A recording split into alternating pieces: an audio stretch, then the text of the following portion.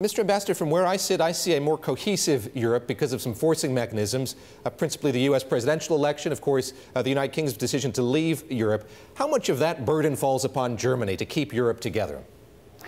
Well, we are a leading country in Europe. We are um, a leading economic power, and we have a re leadership responsibility politically.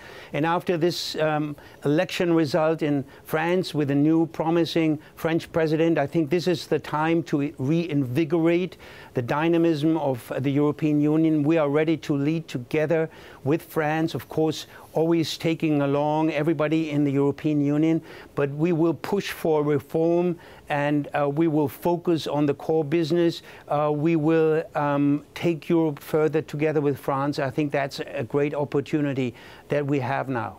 How much of your job now is to make the case for the kind of liberalism that the German Chancellor has, has championed in Washington, in this changed Washington? Is that part of your mandate now? Of course, uh, we uh, want to make our case. We are concerned that this uh, liberal um, rule-based international trade order is somewhat being called into question.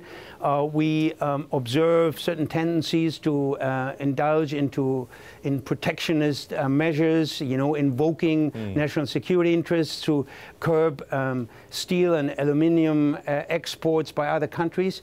Uh, that is uh, the wrong path um, as far as we are concerned. We are mindful uh, that this could be triggering a kind of a mm. spiral of tit for tat retaliation, you know, eventually in the worst case, uh, lead us to a trade war. I think that's the wrong path. Our country thinks that uh, free and fair reciprocal trade has been a recipe for prosperity and eventually stability in our parts of the world. So we want to maintain and further develop that order, and that's part of my mission statement, if you will. Very quickly here, I spoke with uh, your counterpart from France, Gerard Araud, the, the, ambassador to the U.S. from France, and he said a real difficulty now is not knowing who to turn to in Washington, D.C. There are offices that haven't been filled, positions that haven't had nominees yet for them. Uh, is that a challenge for you as well? Do you find it difficult to navigate Washington under this new administration?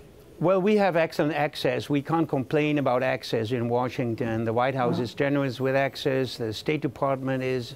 Uh, the, all the other major departments are. And but that's true. There there is um, still, I think, a, um, getting used to of this administration mm. to the realities of of, of governing, uh, and we hope uh, it, it's going to clarify over time.